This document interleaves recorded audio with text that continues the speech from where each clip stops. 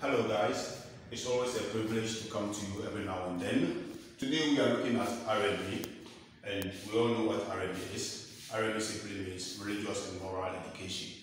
And from our previous lessons, we were made to understand that it is good that the human being is brought up holistically. And for that matter, your spiritual life is concerned, your social and physical life is also concerned. And so, religion simply means man's relationship with God. So as a human being, you need to have a relationship with your creator. Moral, as you and I know, is about good behaviors, behaviors that are acceptable in the society.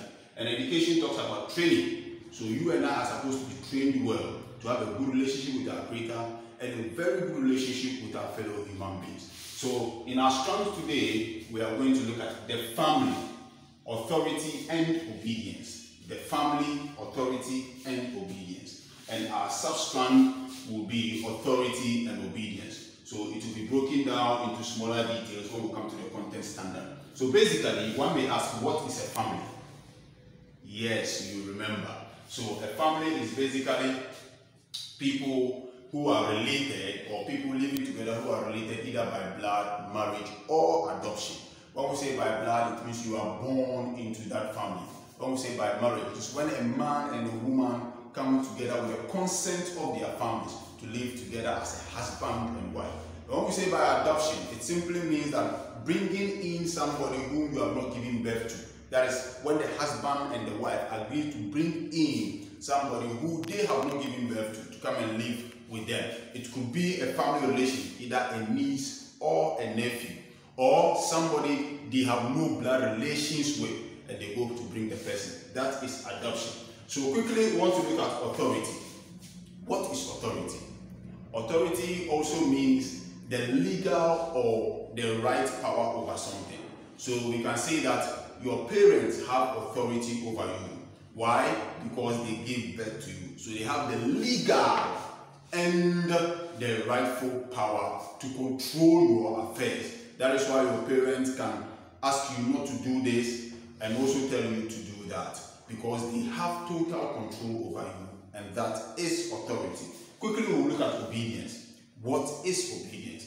Obedience simply means listen to instructions.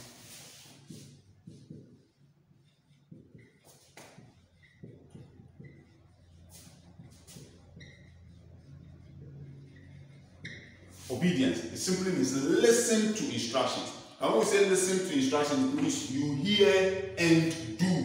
That is the meaning of listen. Hear and do. You don't just hear and sit down, but you hear and do. So prompt response is what we refer to as obedience. When your father calls you, I will go to the room and get me my mobile phone. You don't sit down and do that after 30 minutes. When you do that, that is not obedience. Even though after 30 minutes you go to bring the phone, it is not obedience. It is the prompt response that qualifies it to be obedient. So today in our substrand, we will limit ourselves to authority and obedience because in our previous lessons we've looked at family, even though we'll be talking a bit more about it. So in our content standard, we are going to look at the need to obey and submit to authority. The need to obey and submit to authority. What it simply means is that authority or submission to authority is a necessity in our everyday life. Hence, obedience. Obedience is a necessity. It is very, very important that we obey our parents, we obey authority, we obey the elderly, we obey our teachers, we obey people who have control over us. All right, so now back to family before we come down to look at the need, because this has to begin in the family. The need to obey and submit to authority has to begin in the family. Every one of us here belongs to a family.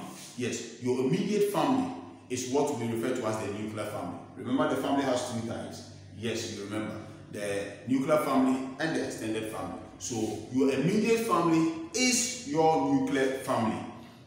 And this nuclear family is made up of father, mother, and children. Very good. So the children are later introduced to the extended family. When we say the extended family, I hope you still remember.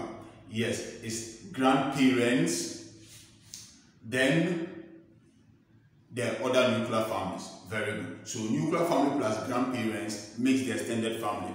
And these other nuclear families are families that consist of uncles and aunties. We also have nieces and cousins. All these people come together to make the extended family. You must also remember that we studied in our previous lesson that the coming together of the nuclear family makes the extended family. And the coming together of various extended families makes up a town or a village. Yes. So these other towns and villages also come up to form a country and it grows bigger and bigger like that. So at the end of the day, when obedience and submission is going to be effective, it means that everybody must identify his role and play it well. So the father has their roles, the mothers have their roles, children have their roles to play, and other extended family members have their roles to play. So we'll be looking at the roles of all these members in the family. We'll take them one after the other. Then we'll break it down to the need, the necessity, the need to obey and submit to authority. So quickly, let's look at the role of the father.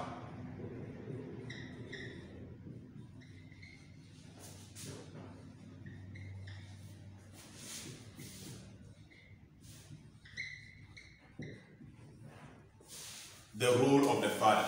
What are the roles our fathers plays, play in our various families? Yes, our fathers are firstly the breadwinners of our families. They are the number one authority in the family. Your father is the number one authority. And he is the breadwinner. When we say the breadwinner, your father makes sure that the family doesn't lack basic necessities and all that the family will eventually want. So the father provides shelter, the father provides clothing, the father provides food. Everything that you need, your father makes sure it is provided. Your father pay your school fees. Yes, your father pay other utility bills as well. So we want to pause here today. Then the next time we meet, we'll list all the rules of our fathers. Then we'll come and look at the rules of the mother. Then the rules of the children. All right. So remember to always check for the assignments whenever the notes are submitted or posted on the platform. So I'll be expecting to hear from you to see how you are doing as far as this lesson is concerned. Until then, I will say stay safe and keep safe.